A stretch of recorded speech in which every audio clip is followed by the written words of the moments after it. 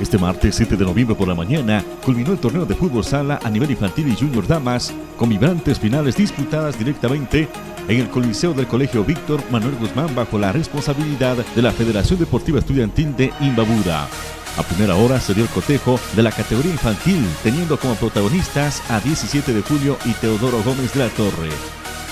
En el desarrollo del primer tiempo se marcaron dos goles por parte de Luz Dani Pantoja de la Unidad Educativa 17 de Julio, mientras tanto que en el complemento la misma jugadora anotó cuatro goles más, mientras que el descuento de Teodoro llegaría a través de un autogol.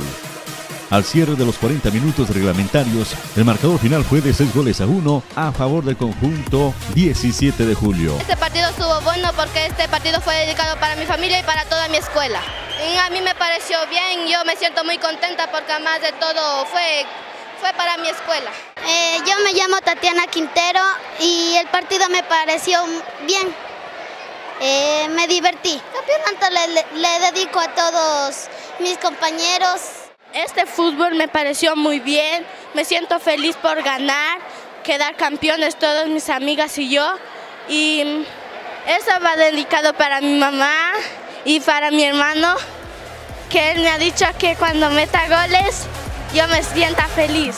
Su estratega felicitó a sus dirigidas al tiempo de dedicar el título a la institución. Les vio a usted como obreritas, ellas son obreras. Cogen la bola y y están viendo para darle a la goleadora. Ese fue nuestro, nuestro vino porque tenemos la goleadora de aquí del campeonato y con ese fin pues hemos salido adelante y conseguimos el triunfo. El campeonato pues para todo el 17 de julio, para todos esos niños de, del bloque 2, del bloque 1 que han venido trabajando en todas las categorías. En la segunda final se definía el mejor equipo de la categoría Junior Damas. Para este duelo se tuvo en escena al seleccionado de Ana Luisa Leoro y Unidad Educativa Ibarra. En el primer tiempo se dio la apertura en el marcador por parte de Carla Villera a favor de Ana Luisa Leoro cerca de los 10 minutos. Un minuto más tarde se dio la igualdad con anotación de Mari Torres para el Ibarra. En la etapa complementaria, a falta de 5 minutos, nuevamente Ana Luisa Leoro se puso arriba en el marcador por intermedio de Génesis Galeano para decretar el 2 por 1 definitivo. Tras culminar el cotejo, se vino el festejo para el seleccionado de Ana Luisa Leoro. Bien, sentí ganar el partido. Eh, ya me siento orgullosa de ganar. Bueno, nosotros nos sentimos muy felices por haber ganado esta final porque hicimos mucho esfuerzo y, me da mucha felicidad haber ganado. ¿A quién dedica este triunfo, este campeonato? Bueno, este triunfo yo se lo dedico a mi familia, a mi escuela y a todos, a todos los que me apoyaron. Muy emocionada por ganar y también por el apoyo de mis compañeros porque si no hubieran metido gol o así, hubiéramos perdido igual también yo tapé y me siento muy orgullosa de estar, ganar. El estratega campeón destacó el sufrimiento de un proceso formativo en esta entidad.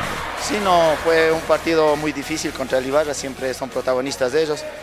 Pero a pesar de eso, nosotros este es el primer proceso que empiezo, es desde el anterior año, y es un año de trabajo que hemos tenido con ellas.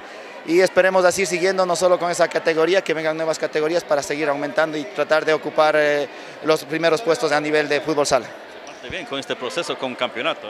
Sí, sí, es mi segundo año electivo en la Ana Luisa. Eh, las autoridades me han dado esa facilidad de trabajar, me han aportado en todo aspecto, entonces pienso que es uno de este, este campeonato es fruto a, ello, a ese trabajo, a ese ímpetu de las autoridades de parte mía y de las jugadoras. El director técnico vicecampeón destacó el buen nivel de esta gran final. Es así, la gente que no vino a disfrutar de esta final se lo perdió. Este partido fue vibrante desde el primer minuto. El que hacía mejor las cosas se iba a llevar el triunfo. De lado y lado hizo lo mejor. Al final ya llegó el cansancio de las chicas que no llegaron hasta la última jugada donde debía estar, pero así es el fútbol, es lo bonito del fútbol. A veces gana, a veces se pierde. Hoy me tocó perder contra Alex. Ha habido años que me ha tocado ganarle, pero bueno, ahí hemos estado siempre juntos los dos y sacando adelante lo que es el fútbol femenino de aquí de la provincia. Las ubicaciones en el cuadro general se oficializaron desde la organización. Bueno, en la infantil queda en tercer lugar la unidad educativa Ibarra, segundo lugar la unidad educativa Teodoro Gómez y como campeón la unidad educativa 17 de julio. En la categoría junior queda el Teodoro Gómez como tercer lugar, segundo lugar el Colegio Ibarra y tercer lugar la unidad educativa Ana Luis Alior. La actividad estudiantil en el fútbol sala sigue su curso, se argumentó.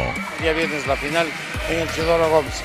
Y esperemos que la próxima semana terminemos con la intermedia y superiores varones y la de damas intermedia y perdón, las superiores e intermedia damas con toda normalidad también.